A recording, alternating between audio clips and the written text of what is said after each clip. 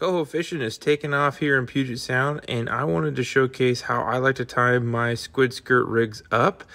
Super simple and easy, but you first got to start with a skirt of your choice. This is my favorite here, an octopus style herring imitation, so to say, of the squid skirts. This one's a gold star.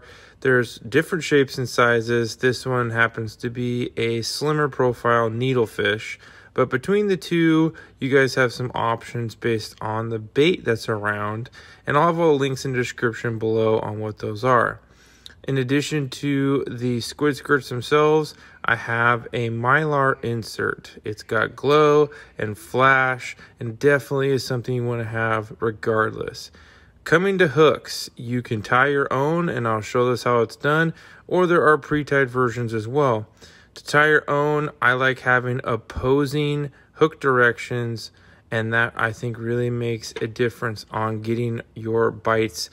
Um, but like I said, there are pre-tied versions you can buy commercially made and they will work now these are i will say set up more so for an actual herring so your hook spacing is going to be different they will catch fish regardless, though. But we're going to tie our own, and I typically like to run my Hoochie skirt rigs either 28 to 36 inches, and that's after they're tied. So definitely want to give yourself plenty of room here and be able to tie these things up. So this is a basic bait loop knot. You can see, um, I'll show it really quickly here, but there are other videos out there how to do this. I usually do eight wraps make it easy, and then the last four wraps to seal the knot off are at the end of it. Um, as you can see, creates a bait loop, but also a very, very good secure knot when it comes all together. And so tie this all up. Then you have your rig set up on the back hook. And you have to make sure to wet the line in order for that knot to secure itself pull it through, secure it nice and firm. There is the back hook with the bait loop. Makes it super easy and simple to tie. Use scissors, cut the tag end off, and then we're gonna now do the second hook. This is done in how I was shown long ago to run opposite directions of the way that the hooks face themselves. In doing so, it just has more hook area to grab in the fish's mouth when they bite.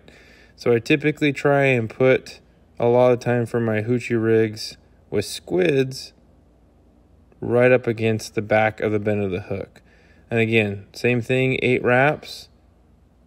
Tag end goes back through the eye, makes a loop, and I finished that off with four more crossing wraps. Pull it tight.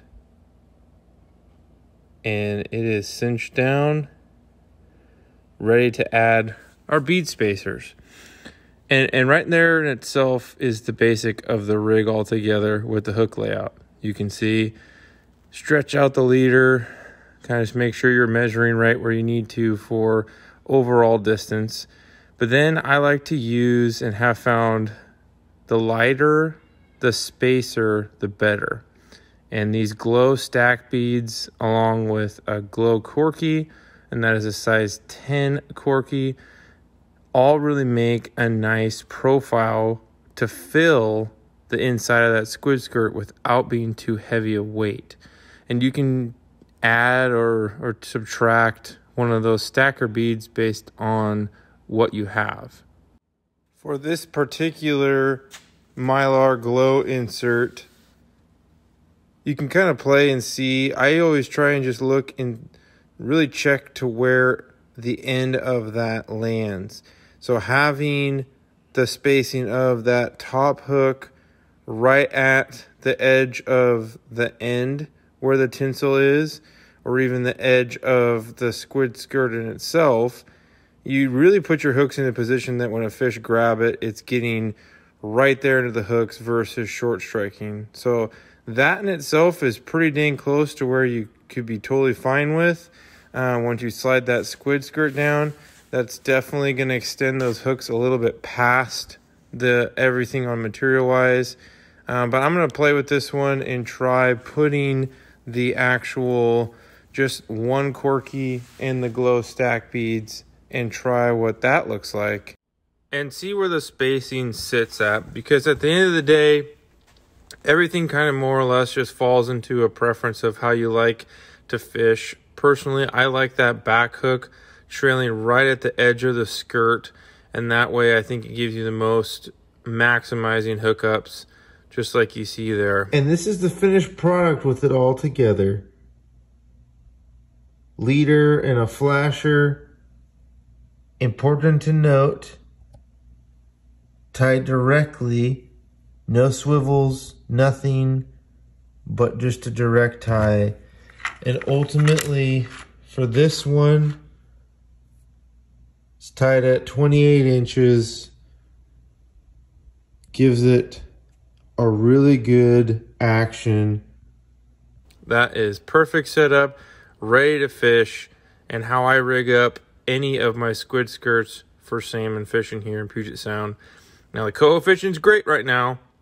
We actually got to go use this out on the water and it was a huge hit. So check these pictures out right here. Some nice fresh coho right on the same rig that you just saw us tie up there. Hope you guys have a blast and fish on.